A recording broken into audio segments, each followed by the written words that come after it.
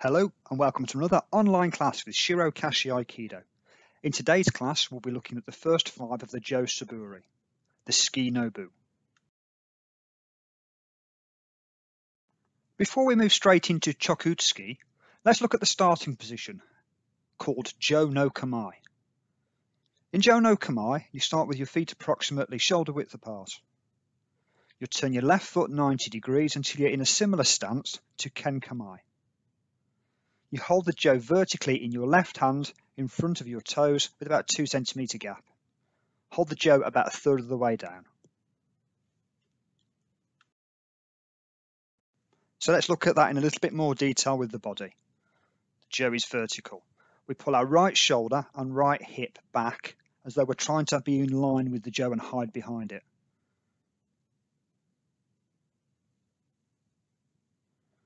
If you look at the left hand, it's about a third of the way down. Don't hold it at the top, this is incorrect. And also don't slide your hand down towards the middle of the Jo, you won't be able to hold it correctly. The first part of the move requires you to raise the Jo into tsuki no kamae. To do so, you bend your knees and stretch your right hand forward underneath your left hand. Don't lean forward, just lower yourself and stretch the arm. You can also raise the Jo with your left hand slightly and pull it back until it's horizontal and above your hip. So underneath the hand, raise it horizontal to your hip, and then we make a forward thrust to the center of the body. So you'll see that as we make the thrust, raise, horizontal, and then we make a body movement forward, front foot, then back foot. And we finish with the ski horizontal. You'll also see that the left arm is extended.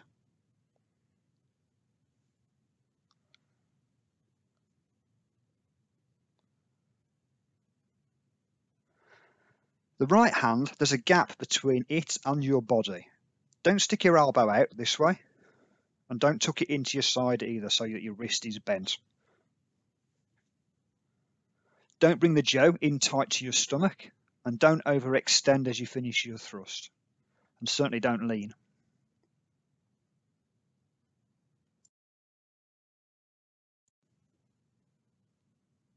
When you finish, your right hand should be just past your side. You can see it clearly there.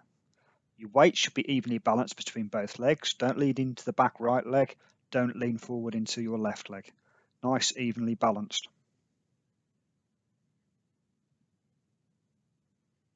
We've got a nice, stable, strong posture at the end. If we look at the left arm, that's the front arm that's stretching out. The hand should be in the center of the Jo. So that you can quite easily just turn it around the center like a propeller. It becomes very light and easy to move. Okay, so there. But if you bring your hand back, if your back hand is too close to your body, all the weight in the front of the Jo and it will just turn and it will be very heavy to move. Aim to get your left hand in the center of the Jo at the end of all of your thrusts. This makes it much easier when performing blocks and other moves that we'll be doing later on.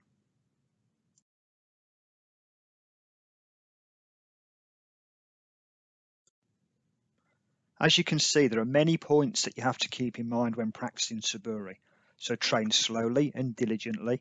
Be mindful of the points that you're trying to replicate in your moves. Do them over and over again at your own pace. Don't try to move too quickly.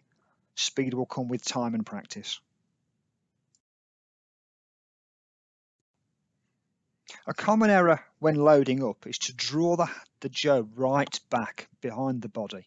This is incorrect. Draw the Jo up, level with the hip, move the body forward to make the thrust. As an exercise, you can see if you're drawing the Jo backwards by putting your right foot against the wall. If you load up and as you move forward you start to hit the wall, you know that you're drawing backwards. So you can practice with your load up, carefully onto your hip and then moving forward to make the thrust.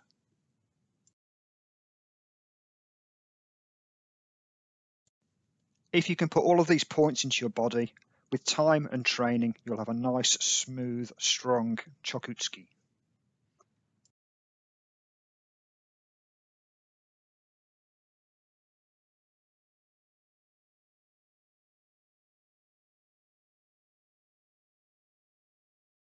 The second Suburi, Kaeshitsuki, or Gaeshitsuki, starts in the same posture, Jo no Kamae. But this time, instead of reaching under the hand to grab the Jo, we slide up to the top and then turn the thumb over, draw the Jo back. And as we do so, we soften the hips and turn sideways and allow the thrust to go through. You'll see that when we perform these skis, the front foot changes angle from the ken kamae into a tsuki kamae. So the hips become level with the Jo on the same plane. You're not twisting your body.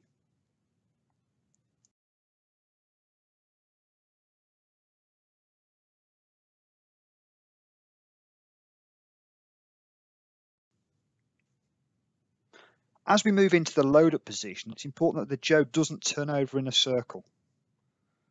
So we can see it here with it facing the camera. The Jo goes off to the side and then back in again. This is bad form. Just pull the Jo back on a straight line onto your hip so you can make the thrust.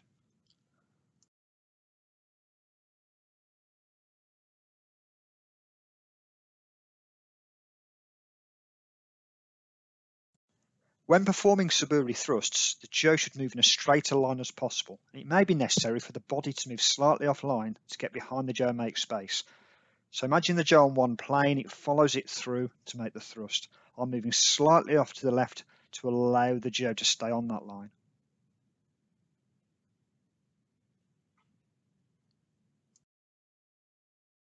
A common error when loading is to turn the hand over the top exposing the elbow. This puts you in a position where your arm could be countered with Ikkyo Ura. It's incorrect. Raise the hand directly and draw the Jo back. There's no chance of being countered at all.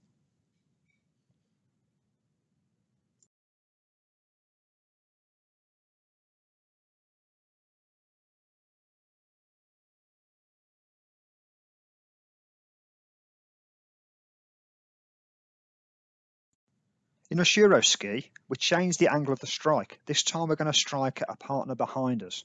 Raise the hand up as though we're going to make Kaeshi tsuki and grab the Jo without turning the hand over. We turn the hips to allow the Jo to go horizontal before stepping back and making a thrust. Ushiro tsuki is the only thrust or strike where you don't look directly at the target, you look at the corner of your eye. So you load up, turn the hip, look out the corner of the eye, step back and thrust, Again, not looking directly at the target. If we now reverse the angle, you'll see the load up more clearly. As the Jo is raised, the hip is pulled back off the line so the Jo doesn't move around at an angle. It can go straight and then straight into your target.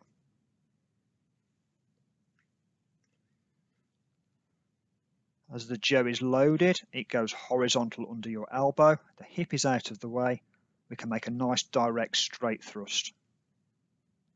Don't look at the target, or just look out the corner of the eye as I mentioned earlier.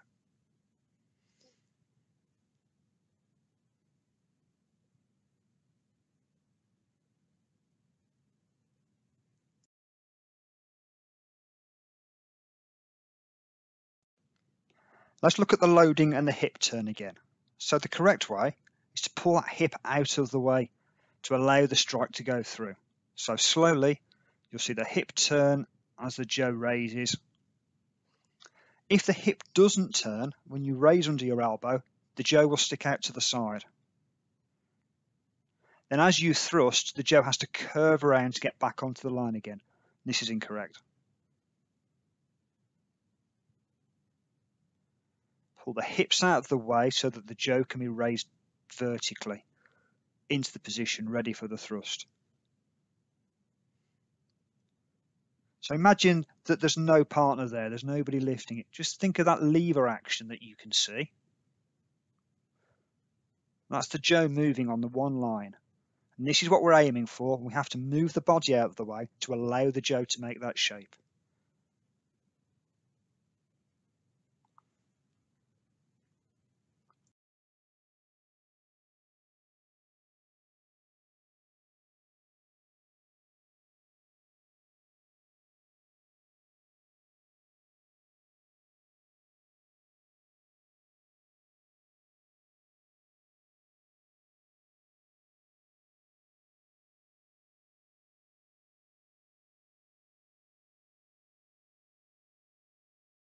In Tsuki Gedan Gaeshi, the fourth Jo Suburi, we change the start posture to Tsuki no Kamae. So we've already loaded into the ski position.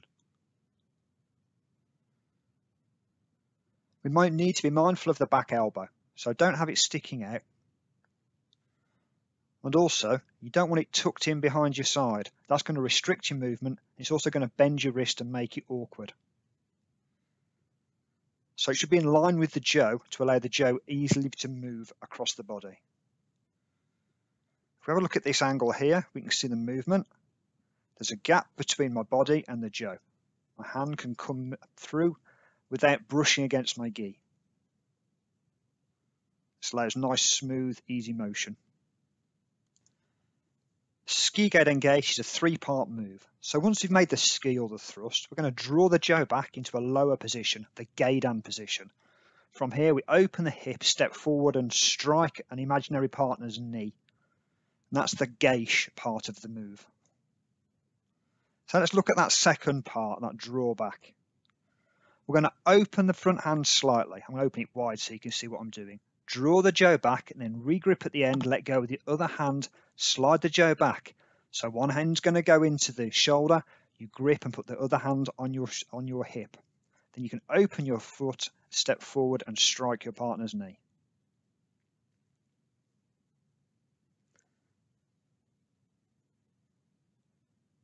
As we open the foot here, we turn the hip and the Jo starts to come off the body. So the body's turning to give extra power to the strike. And then the Jo comes away from your body before you step forward and strike. Your body will follow the strike. And you finish with your toes pointing forward, as you can see here.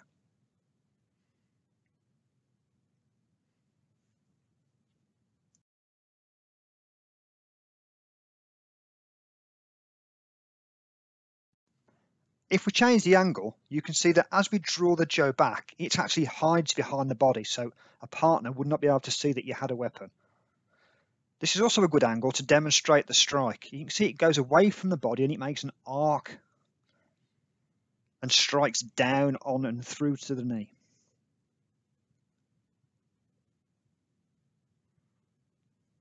What it's not doing is just sweeping across the floor. Okay, it's not a broom, it's a Jo.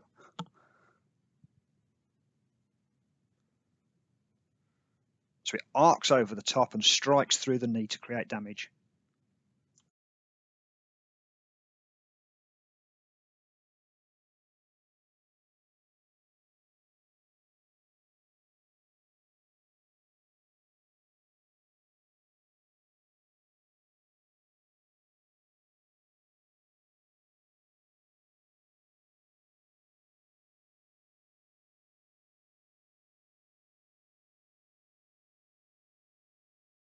The final move in the series is Tsuki Jodan at Gaeshi Uchi.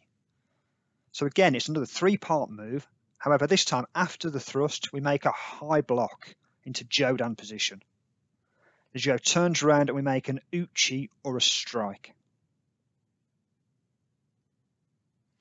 So we're familiar with the thrust.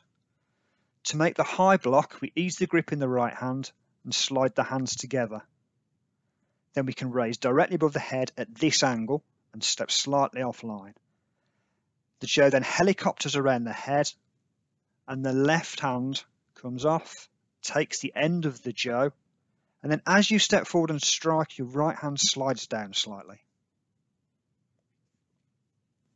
So this time again, but we won't make it as obvious with the hands, they should stay in contact with the Jo. So the hands slide up and then they turn your hand slides down the Jo to the end and then your right hand will slide down. So wherever possible, both hands are in full contact with the Jo at all times. One more time, we watch, see the hands stay on the Jo. Both hands are in contact for as long as possible. The hands slide along the Jo to the end and your right hand slides down for the cut. Quite often you'll see beginners and they'll go from the block position and they'll reach the end of the Jo and then lock grip with both hands and that throws the shoulder forward when you cut. We should have the hand slid down so we get a nice flat finish. If we go from this angle, we can take a look at the block a little closer. So we can see that we can see through the hands. The hands are directly above the forehead so the Jo can turn above the head before you step forward and strike. And again, you can see that shoulder being thrown forward because we didn't let the hand slide. This time we've got the opening and we turn and we let the hand slide into the correct position as the Jo goes horizontal.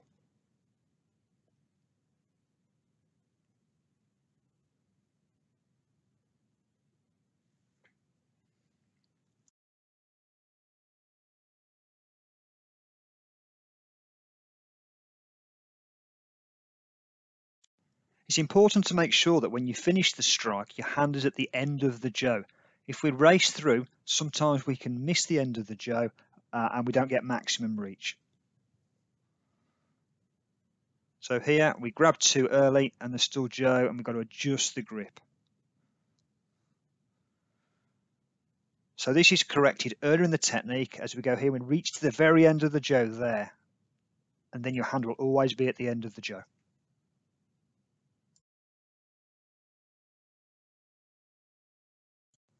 So that's the end of this video. I hope you found it instructive and I look forward to seeing you on the next one.